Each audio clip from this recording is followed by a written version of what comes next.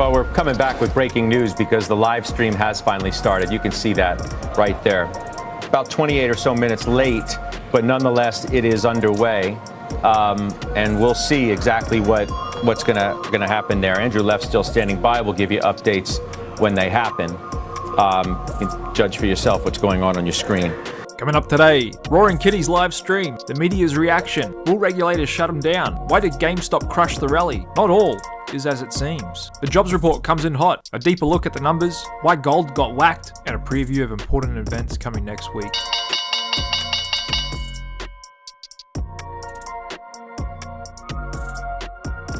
I've got a real interesting one for you today, guys, and before I get into it all, just a huge thank you to everyone who tuned into the daily market review yesterday. We hit a new all time record for the amount of viewers that were watching yesterday, and so a big thank you to everybody who hits that like button and continues to support this channel, and a big welcome to all my new subscribers here. And just a quick intro about me and what I do for you guys. My name's Jared. I've been passionate about trading and investing in financial markets for over 20 years. I worked for a large investment bank up until 2008 before I quit. And since then, I've been trading, investing, and working for myself. And nowadays, apart from trading and investing, I really enjoy bringing you these daily market reviews every day after close. And if you're interested in learning a bit more about me and what I have to offer, then check out the links below this video and be sure to hop on my email list as well if you'd like to hear from me a bit more regularly. But without any further ado, let's dive right in to all today's events happening across financial markets and let me get you updated going into next week as well. So starting off, as always, just looking at the S&P 500 and giving you my thoughts on where we are and where we could go to next. So again, we actually found new all-time highs today on the S&P 500, but put in a bit of an outside day on a spinning doji and market pretty much finishing flat again, basically unchanged here, just after we broke out to all-time highs on Wednesday. However, it's not all good underneath the hood. Do have weakening breadth. We can see that in the Russell 2000, most diversified index out there, actually losing its 50-day VWAP today. And overall, looking at NYSE and NASDAQ volume breadth, the volume of stocks increasing versus the volume of stocks decreasing,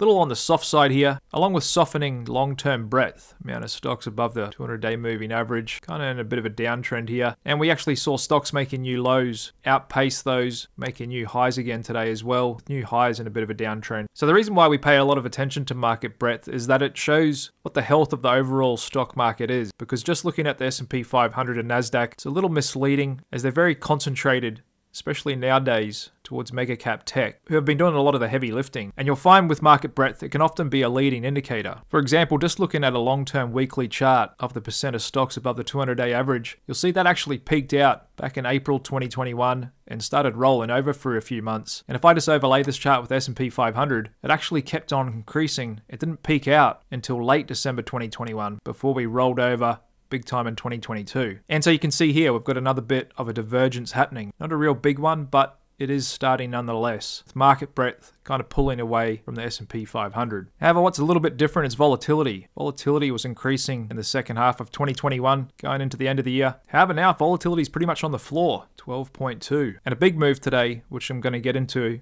a bit later on in this video, there's a sharp U-turn in bond yields. There's the two-year, up a whopping 16 basis points today, along with the 10-year, helping to give a sharp pullback in TLT. High-yield bonds still hanging in there, dollar firming a lot, and Bitcoin good measure of liquidity and risk sentiment, peeling back from these resistant highs as well. And just looking at market color, bit of a mixed picture. No real obvious prevailing trends there, and kind of mixed signals as well. We've got consumer discretionary green across the board, volatility red across the board, the Russell underneath its 50 day now as well, S&P and Nasdaq holding up, high yield bonds negative, momentum positive. So Bit of a mixed picture there. However, to sum up all that and what to make of all that, putting all the pieces of the puzzle together, I'd say we could be in for a period of consolidation and maybe a pullback next week with a sell the news event on Nvidia's 10 for 1 stock split, Apple Developers Conference, and then going into the big one Wednesday, CPI inflation data could throw us a curveball as well. And it could be a case, like we often see, markets break out to new all time highs and they'll often consolidate, maybe retest back. And I'd say, given the sharp increase in bond yields and that weakening breadth, along with the firmer dollar, I'd say that's a little bit of a headwind for the market right here, especially we just coming off the back of a huge run up in Nvidia, which has really been driving the main indices. However, more thoughts on the market and charts later on. First, let's just pivot to the biggest story of today, and that's GameStop. And let me just run you through the events that have happened over the last 24 hours, new developments, along with all my analysis and thoughts on what it all means and you may be surprised as to what I conclude after all this. So stick with me for a bit here and let's go through it all. Okay, just zooming out to last night and yesterday's session, we went on this huge run up. Keith Gill came out and said he'd scheduled a live stream on YouTube for the first time in three years. And as you know from last night's show, we had a huge rip right up towards the end of the post market session, which trades from 4 p.m. to 8 p.m. New York time. We sold off going into post market close. Then the pre market session opens at 4 a.m. New York time and runs to the regular session open at 9:30. We were kind of just tracking along there, hovering around $62 a share. Then we got the surprise early earnings release from GameStop. Shares immediately sold off, going down to $52 giving up 10 points in quick fashion. They weren't scheduled to release till Tuesday. Then, about 30 minutes later, they came out with a secondary offering, planning to sell 75 million shares at market. And that's of no real surprise, taking advantage of these high prices. However, it does dilute shareholders, increases the supply in the register, so stocks will always pull back from that. So we sold off hard after that news, actually trading down to $37 a share, where it found a little bit of support tried to hold ground there, actually ticked down to $35 a share, where it did find support. Then we opened up the regular session, shot right up back to $48 a share. There's numerous halts during the day, and which if a stock moves too much, five minutes it'll get halted. There can also be discretionary halts, which there were, especially doing his live stream. So then the stock sold off into mid-morning, and then his live stream was scheduled to come out at 12, in which he was late. He didn't show up. So the stock sold off a bit more into that, finding new lows, 3160. Then he showed up to his live stream. They halted it straight away. Stock popped into that, and then he was on the live stream for almost an hour, coming off around here, and then the stock kind of just traded flat in the afternoon. And here we are, just trading a little bit lower than the close, 27.40 as I speak. So that's the price action we got today, along with those key events, and let's go through them. Okay, so probably a lot of you did watch the live stream, and it was just Keith Gill, Roaring Kitty, being the same old self that he is. He's been a bit of a clown, speaking gibberish, kind of weird stuff. Um, he basically just reiterated, you know, he's all in on GameStop. It is actually him posting. He's not partnered with anyone. He still believes in the company. He's betting on Ryan Cohen. He still likes the stock. He was very careful not to do anything illegals, full of disclaimers, just having fun, drinking beer, goofing around. And it's no surprise, a lot of people thought it was a bit underwhelming. Was, I mean, there's a huge build up, big expectations. This guy's just a suburban guy trading an E Trade account using Yahoo Finance. So just keep that in mind. He's not a professional actor. He even admits he's not good at video editing or anything like that. However, let me go on to why it's not all as it seems and actually make a bit of a case to why I think this may not all be over yet and it could turn out to be something that may surprise a lot of people. As right now, it looks all a bit theatrical and just kind of pump and dump type of stuff. However, stick with me for a minute here and I'll give you my thoughts on it and I'd be interested to hear all your thoughts on it in the comments below this video as well. So there's no surprise he's getting a lot of negative publicity today. Stock crashed, which can happen a lot in a buy the rumor, sell the news event. We saw the same thing with Dogecoin and Elon Musk on an SNL. So the media's been quick to point that out, painting him off as a clown, and of course jumping on the big dive in the stock price. That's why we're getting headlines like this. Position loses more than 200 million. He's still holding all those shares, along with his call options as well. However, I think it's wrong to call this guy dumb. Let's not forget he parlayed $50,000 into over a quarter billion dollars as it stands now. And I think he knew what he was doing. Coming back onto X first with the memes, drove the stock up. GameStop sold some shares, it fell back down. Looks like he's loaded up on call options. Then he came back onto Reddit, pushed the stock up. Then he came back onto YouTube, ripped the stock up last night, and GameStop, the company, took advantage of that by selling more shares. Now he knows that was very well and likely to happen, and he's instigated that. He loves this company, he believes in Ryan Cohen, he's all in for the long run, and say he could have single handedly helped the company replenish their balance sheet and give them a much longer runway to turn the business into a sustaining profitable machine. But of course, on the surface, it doesn't look like that, and that's why you got clowns like Ross Gerber, one of the biggest financial influencers and I'm not sure why. Coming out and saying GameStop now plunging 40%, at some point people will realize they are getting worked over by GameStop Ryan Cohen. This pump has allowed GME to dump 120 million shares on the public. No question they wouldn't have been able to do this without the kitty. First off, let's just keep in mind this guy has been proven wrong so many times it's not funny. He's been accused of engaging in PPP loan fraud, using his last name Kawasaki to claim he's actually a motorcycle dealership. To get that government handout, he's actually a financial advisor and runs a wealth management firm. And a lot of people don't know this, but he actually has an ETF called the Gerber Kawasaki ETF. And you don't hear a lot about it, and he doesn't talk a lot about it. And that's because it's significantly underperformed the market ever since it come on three years ago, kind of similar to Ark Innovation and Cathie Wood. But anyway, I digress, and enough about this clown. Back to my point yesterday, and that Keith Gill could be on a deeper mission. After hearing him today, I don't think so. I think it's more about he actually believes in GameStop. He's all in. And I don't think he's really trying to prove a point about the system and crooked hedge funds, naked short selling. And at this point in time, I don't think the SEC and regulators really have a strong case to stand on. He hasn't actually technically broken the law. And when it comes to the courts and that, that's what they actually look at is whether the law was technically broken. And now that he's got the budget, he could fight them all day. And so for now, I don't think they want to get into it with him. However, that could easily change. Like I said, I think Keith Gill's actually a mastermind, even though he looks like a clown on the surface as well, because I think he's allowed GameStop to become a lot stronger and have a better chance of becoming profitable in the long run. And so they took advantage of this and brought forward their earnings release, which was a bit of a surprise to the market. And just zooming in here to look at the numbers, net sales 880 million for the first quarter compared to the 1.23 billion in in the prior year's first quarter. Expenses 295 compared to 345 last quarter. Net loss was 32 million compared to a net loss of 50.5 million for the prior year's first quarter, and they've got good liquidity. Cash on the balance sheet, bit over a billion there, with their long term debt limited to a low interest unsecured loan. And so immediately after releasing earnings, they also announced offering us of 75 million shares at the market through Jefferies. They're going to sell new shares on the market, and this is in addition to the 45 million shares they sold back in May after the last pump, in which they raised $933 million. And so just calculating what price they were actually able to sell those shares for, they raised $933.4 million by by selling 45 million shares gives us a price of $20.74, which I've actually marked on the chart here in the blue line. So that after that last pump, they came out with a secondary, raised almost a billion dollars. And what's interesting, if I draw a volume profile from the top of that last pump to where we are here today, it's pretty much exactly the same price as where they offered those shares. So that's kind of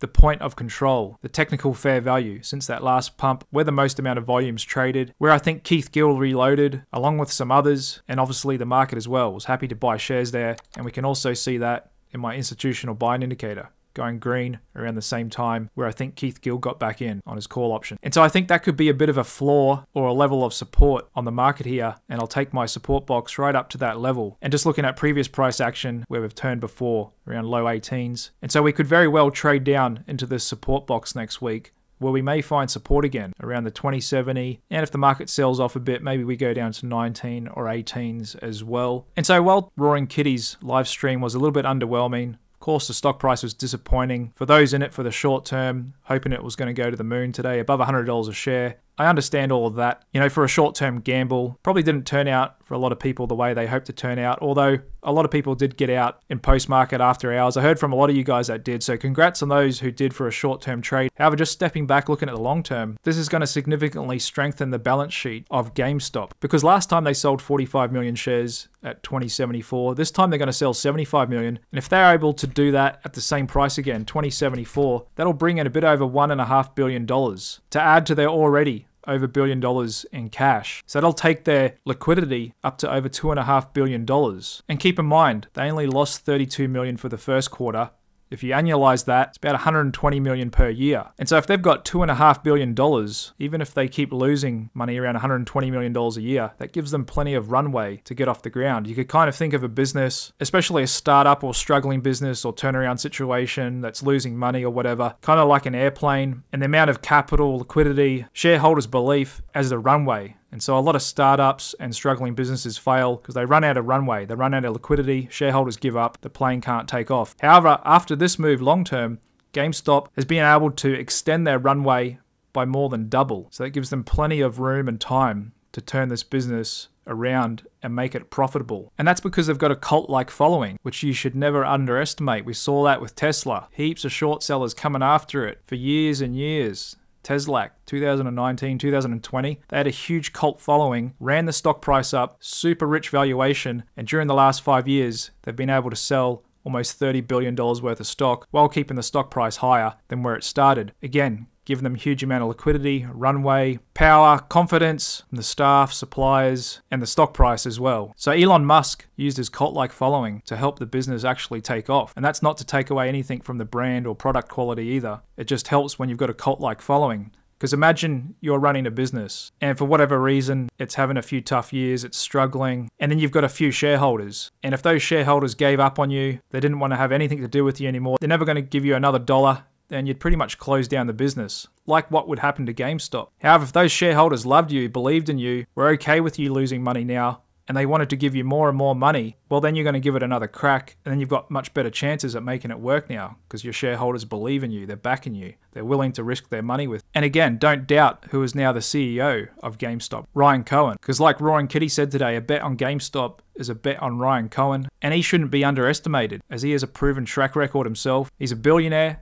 while still being a young guy, and he's put his money where his mouth is. He's actually the largest shareholder in GameStop. And you thought Roaring Kitty's position was huge at 5 million shares. Well, Ryan owns 36.8 million shares. He's been on the board for a few years, actually started buying in 2020 along with Roaring Kitty, and then they just made him CEO in September last year. He's completely gutted out the C suite, pretty much the only guy running the show, and he has over a billion dollars currently invested in the stock now as well. And he's the guy that actually founded Chewy.com, turned it into a multi billion dollar company before he exited it, and it's still a very successful e commerce business that he built from the ground up. So, like I said, he's got a track record of knowing how to sell online and be a big player in a big market. And that's the direction GameStop needs to go in. It's a long pivot from their decades of operating physical stores to going into the digital world. However, it is a big market gaming, collectibles, and so he's all in on GameStop and with a cult like following, willing to give it a rich valuation, run the shares up so they can sell more shares, replenish the balance sheet. They've got a huge runway, and with Ryan at the top, it could actually turn into something long term. And because, like Elon says, the most entertaining and ironic outcome is the most likely outcome. And don't get me wrong, it's going to be a very volatile and bumpy road, even if they can pull this off, still full of risk. However, after diving into it, I'm thinking of it a bit differently, and not to mention with just Ryan and the shareholders and backing them, but also Roaring Kitty and his huge following. Really want this to succeed. Just seeing a retail suburban guy turn $50,000 into hundreds of millions of dollars is certainly inspiring, and I don't think we've seen the end of this story just yet. And even though for now things are definitely cooled down, see that in the options market, implied volatility pulling back, stock price pulling back, likely to remain under a little bit of pressure and potentially consolidate for a few more weeks, and who knows, maybe run down to the high teens again, $18 a share. Like I said, we may not have seen the end of this, and GameStop could still be a rocket to the moon soon. Who knows, maybe in the medium long term, wouldn't it blow a lot of people away if it turned into a $100 billion market cap company, currently around 12 or so at the moment, and it becomes one of the biggest players in gaming and collectibles online. And Ryan Cohen brings on Roaring Kitty onto the board, and they're both filthy rich billionaires running one of the biggest gaming companies in the world. Who knows, anything's possible. Because just like Elon Musk is a bit different, this guy is as well, a bit autistic, something like that. And even though it all looks like theatre now, and he's a bit of a clown. Like I said, don't underestimate him or Ryan Cohen and what they could be pulling off here. And more importantly, their cult like following that are backing them until the end. Anyway, that's just all my analysis and opinion on it. I'm interested to hear from you as well. What do you think about what I've just said, and what are your thoughts on all of this? Just drop a comment below this video as I read and respond to everyone. Moving on today to the second biggest story in financial markets, US jobs report coming in a lot hotter than expected at least the headline number anyway. And my forecast yesterday was right. I thought would come in at 4% unemployment. That's what we came in today. US economy added 272,000 new jobs last month in May, well ahead of economists' expectations of 190,000. And that also came with a bit of increases in average hourly earnings as well, most notably in business services, education, health, and hospitality as well. And just looking at the prints we got, it's easy to see why a lot of people are confused today. Average hourly earnings, bigger than expected. Non farm payrolls coming in way bigger than expected, but the unemployment rose higher than expected. So, how do we get more jobs than expected with a higher unemployment rate? Well, that's a lower participation rate, meaning there's just more people available for jobs in the market, and that's what shot the unemployment rate up. However, looking underneath the hood of the jobs data, it's not all as it seems either. Household survey continuing to show a much softer employment picture, along with full time employment. So just don't forget in non farm payrolls, that includes full time and part time jobs, and full time employment has actually been downtrending this last little while. And that's typically what we see in recessions and bear markets as well. And just looking since May last year, it's actually been a huge increase of part time jobs versus full time jobs that have been lost. And keep in mind, native born Americans as a whole have actually lost jobs since 2019. All of the new job growth has come from foreign born Americans, both legal and illegal immigrants. Also, got some other bearish economic data today with daily card spending per household, major categories. Diving off this last week entertainment, furniture, and home improvement. Discretionary items. Consumers are definitely pulling back on their spend here, tightening the belt. However, at the same time, Wall Street analysts are lifting their expectations for what companies are going to make in earnings per share this year and next year as well. So how does that happen? Jobs markets weakening, consumers pulling back discretionary spend, but companies are expected to make more money. Well, for starters, S&P 500, almost half of their revenue is derived from offshore because there's big global tech companies, so it's not all related to the American consumer. Second of all, these companies have been doing a great job at cutting costs, becoming more efficient over the last couple of years, laying off a lot of people, and that's thanks to the same theme that this bull market's running on artificial intelligence. Big companies have already started replacing humans with machines to do exactly the same job, and that's a trend that's only going to accelerate and grow over the coming years. And it's kind of a little bit dystopian, isn't it? If the companies and stock market keeps getting bigger, well, more and more people get laid off jobs. And what's the end goal of all this? Even if it is 20 or 30 years. No one needs to work. Jobs become a thing of the past. Just universal basic income and what people are supposed to just sit on the beach or play golf all day and the government just sends you a wage. It's kind of interesting future we're going into and this is why corporate profits could still hold up and maybe what's different this time compared to the past correlation because now we're starting to got machines replace people, and this could affect pretty much every sector and industry out there. Automated buses, robots doing dentistry work, and who knows, maybe robot teachers as well. But just keeping in mind, regardless of all that, stepping back, looking at the long-term picture, a forward 12-month PE ratio in the S&P 500 still a little elevated. The blue line's a 10 year average, green line is a 5 year average, currently sitting just below 21, only really higher than that. Back in late 2020 going into 2021. So the stock market's still pricing in really good growth over the next year or two. And if we do get a recession and that does hurt corporate profits, well, then there's definitely room to fall in the stock market technically and looking at valuation metrics as well. However, just keep in mind it's not the same as the late 90s because that was a rally led by junk stocks, unprofitable companies, whereas this time I've got a much better correlation between earnings, the fundamentals, and the run up in the stock price, unlike the huge divergence back in the late 90s. So, once again, we're getting a little bit of mixed economic data, definitely signs of softness in the jobs market, even though the headline numbers coming in hot thanks to the sharp increase in part time jobs is not historically a good thing for the economy or markets. But if you want to know what to make of it all, well, then just follow the tape, as the market never lies, and we definitely saw a sharp increase in bond yields today, reacting to that jobs market report, like we can see in the two year yield, now sitting just below 490 again. So the bond market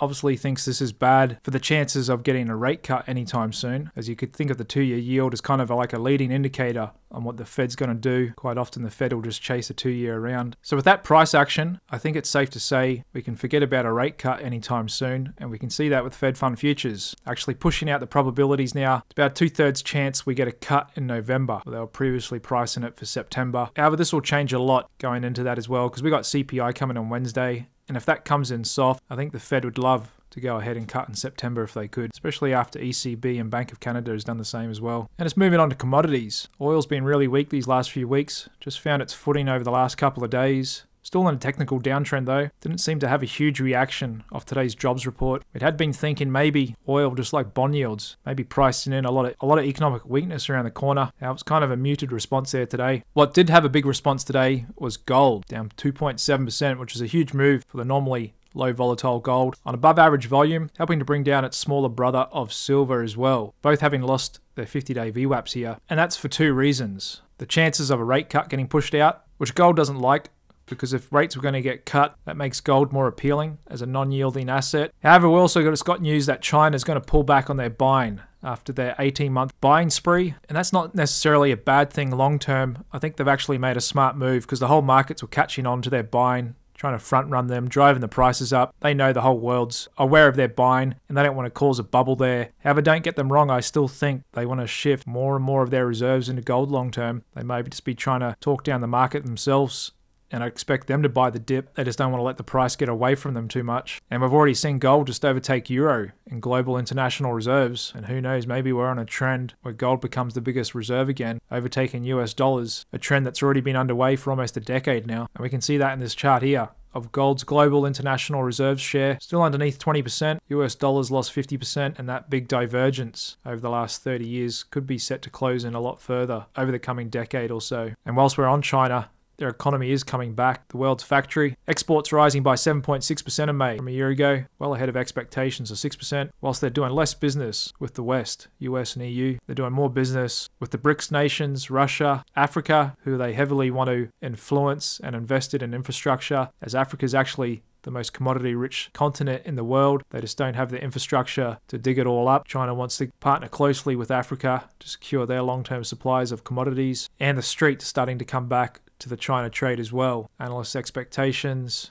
Fund managers' allocations coming off those rock bottom lows. People are turning around on China. However, technically speaking, it's still pulling back here. Just having lost its 50 day VWAP today, and if I draw a Fibonacci on its last swing up from mid April till mid May. It's just done a 50% pullback. We may come down, do that 62% pullback, or even deeper 78% pullback down to $25 a share. That's all possible over the coming week or two. However, I think that's a good buy in the dip opportunity because just zooming out to a long term monthly chart on China, looks like we put in a solid double bottom in January. We've run up for four straight months, so it's no real surprise to have a bit of a pullback consolidation. But I'd be surprised if we got back down to these low 20s again. We may not see that ever again, potentially. Doing a lot better though is my pick, Tiger Brokers, adding on another 5.9% today after we got their earnings two days ago, in which they missed expectations, but the business is still growing and healthy. And next week could be another juicy one. We've got Nvidia doing their 10 for 1 stock split, multiplying the amount of shares on the register by 1000%. Common move companies will do when the stock price runs up to a high price. Allows for more smaller investors to get in, better liquidity in the options market. Also on Monday is Apple's Worldwide Developers Conference, which they're set to unveil all their latest products, how they're getting into AI, and it'll be interesting to see whether the market uses that as a liquidity event to shuffle their hands. Maybe we get a big pullback in mega cap tech, pulling back the S&P and Nasdaq with it. There's a look at Nvidia today, pretty much closing flat. Got within a whisker of becoming the largest company yesterday off the open, and Apple actually firming up in this resistance zone as it goes into its big event on Monday. And it'll be interesting to see the market's reaction. If they're really pleased with what they see in here, we could rip up above $200 a share. Otherwise, potentially with Nvidia, we could get a sharp fall. Like I always say, we won't know until we know. Over the economic calendar, Eurozone's GDP growth rate came in line as expected, economy barely growing. Canada's unemployment rate, as expected as well, 6.2%. We've already looked at US jobs data. Starting next week, got a 10 year note auction, inflation data from China, and the big one Wednesday, CPI, inflation data from the States. Headline expected to grow 3.4% year over year, along with the Fed, which we'll get to hear from. Going into Thursday, got PPI data, 30 year bond auction, and finishing out the week with Michigan Consumer Sentiment Survey. Fear and Greed Index, still on the cusp of going in the fear zone, and that's thanks to really weak market breadth, as I've already pointed out to you. And corporate insiders, whilst they did a little bit of selling the last couple of days, yesterday they kind of pulled back, not doing a whole lot of trading here. And just going back into the charts, looking at GME, we just finished post market as I speak, finished down at 27.16 bit softer than where we closed regular session. And there's a look at the daily chart again. And we'll be keeping an eye on this one next week. We may come back down to this support zone where it may find support once again. And Bitcoin, I thought was primed for a bit of an all-time breakout. However, that's still yet to be seen on this candle today, pulling back on big volume along with market breadth and GameStop. It appears animal spirits will have to wait a little bit longer. And just like China, we got to pull back in clean energy today. There's a spread of the Nasdaq versus the Russell, absolutely ripping up, and see tech back to taking a strong charge here. Discretionary versus staples, still a bit soft, although staples versus the SPY is also soft. Gold mine is the worst performing sector today after being the best yesterday and the best performing sector, financials. Once again, breaking away from bond yields. I hadn't really been like higher bond yields and a bit of a pullback to the 50 day for the hot utility sector as well. There's cannabis still trying to find support here, and even though it's consolidating in a technically oversold zone, we're not getting a huge bullish divergence on my DSI. There's a little bit of signs of institutional buying. However, I've got a feeling it still may want to come down and test a little lower here before we get a bounce. It's another one we'll be watching next week. And we've gone a little bit into OT, guys guys. So, on that note, I'll wrap it up here. Just want to say a big thanks to everybody tuning in this week, hitting that like button, helping the Click Capital channel to hit a record amount of views yesterday, and a big welcome to all my new subscribers. I look forward to interacting with you all going forward. And like I said, I make these daily market reviews and post them online around 9 p.m. Eastern Standard Time, about five hours after market close in New York. And so another interesting week, GameStop, Nvidia, and next week could be just as interesting with Nvidia 10 for 1 stock split, Apple conference, CPI on Wednesday, and of course, maybe some further developments in the GameStop saga. Thanks very much for tuning in. Have a relaxing weekend, and I'll see you again Monday night. Cheers.